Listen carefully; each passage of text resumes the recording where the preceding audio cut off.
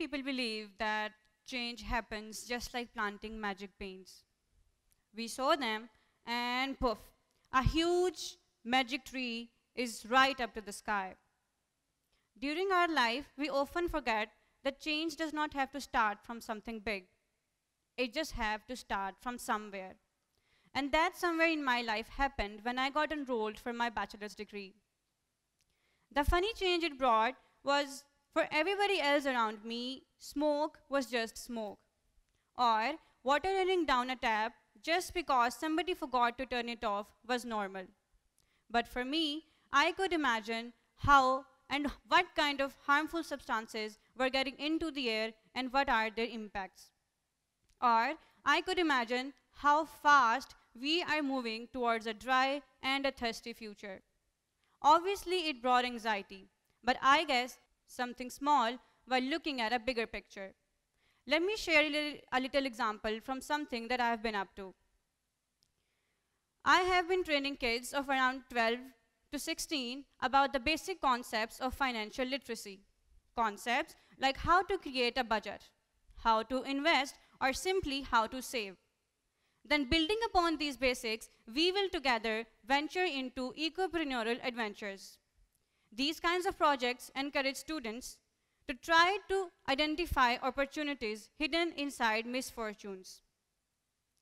Now, it is quite encouraging and optimistic to see people, particularly our students, trying to get involved in the talks about climate change or efforts related to it.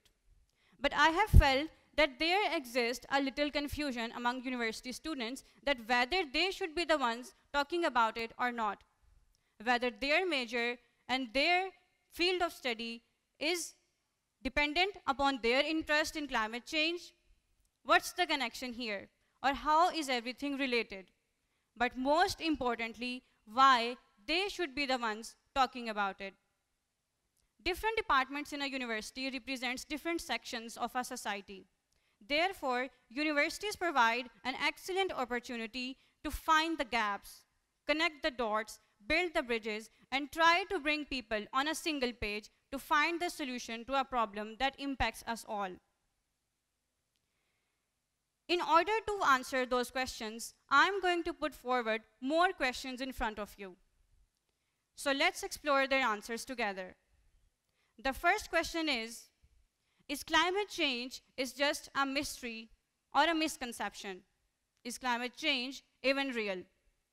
Before some of you guys try to find the answer behind scientific facts and figures, let's explore the answer by simply looking around ourselves, by simply observing our natural environment in which we live.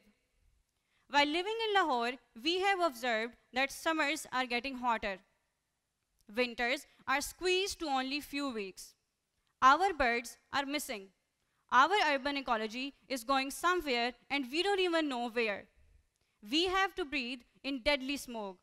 Our living standards are getting higher while our inflation is getting even higher. So, let me repeat the question again. Is climate change real? And I hope that your answer is a yes. Moving on to the next question,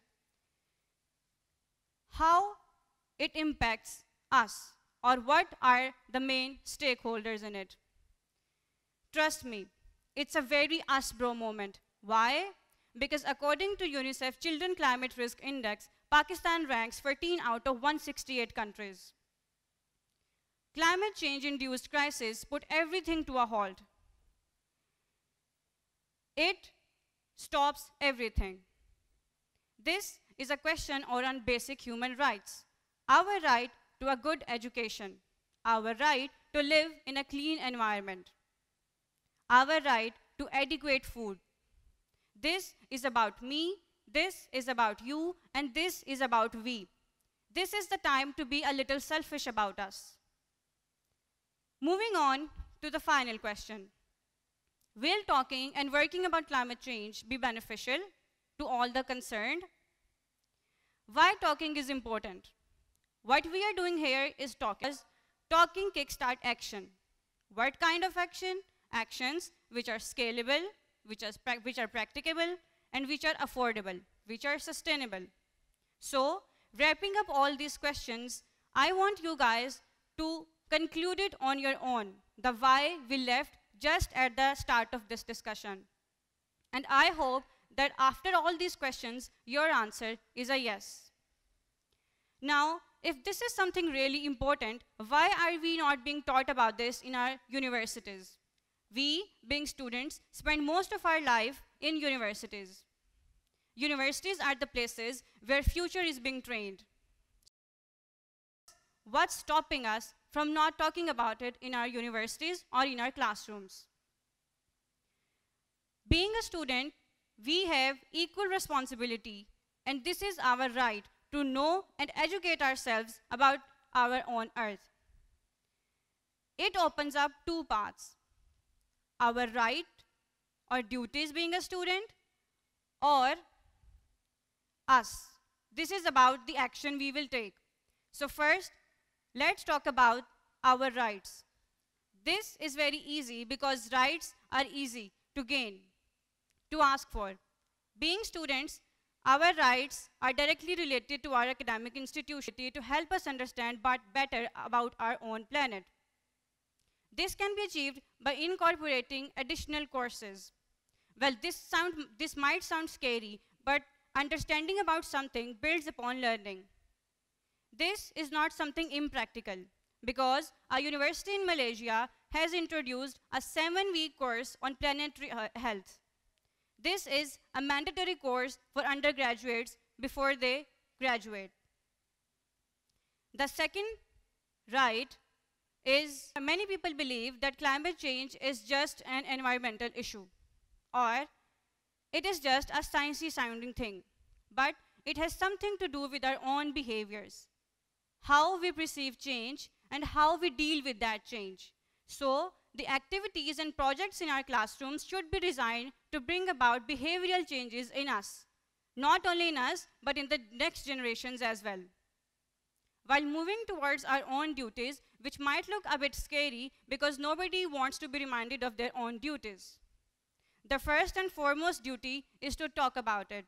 If you find any piece of information, share it with your friends, with your family, and with your peers.